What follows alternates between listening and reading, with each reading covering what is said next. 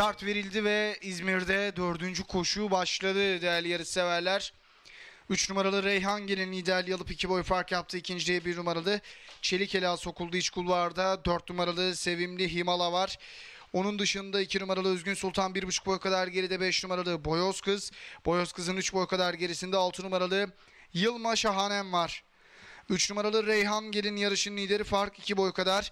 Orta kulvarda 1 numaralı Çelik Ela var. Son 800'e girildi. Dış kulvardan şimdi ikincide 2 numaralı Özgün Sultan atak yaptı. Bu iki sapkanın hemen içinde 4 numaralı Sevimli Himala. 2,5 boy kadar geride 5 numaralı Boyoz Kız.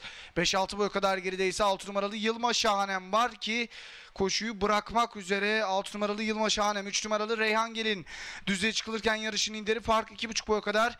İkincide de 4 numaralı Sevimli Himala sokuldu ve viraj dönüldü. Son 400 metreye doğru 2 boy farklı 3 numaralı Reyhan Gelin lider orta kulvardan 4 numaralı Sevimli Himala dışarıdan 2 numaralı Özgün Sultan'ın ataklarıyla Safkanlar son 200'e yaklaşıyor.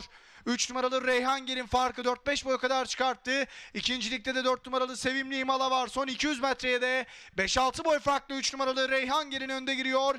Geride artık ikincilik mücadelesi var. Son 100 metreye doğru da 5-6 boy farklı önde olan 3 numaralı Reyhan Gelin lider ve 3 numaralı Reyhan Gelin İzmir'deki 4. koşuyu kazanmayı başarıyor. 2 numaralı Özgün Sultan koşunun ikincisi oldu. 4 numaralı Sevimli Himala 3. 5 numaralı Boyoz Kız 4. 1 numaralı Çelik Ela'da 5. oldu. 3 numaralı Reyhan Gelin Mert Uyar'la kazandı.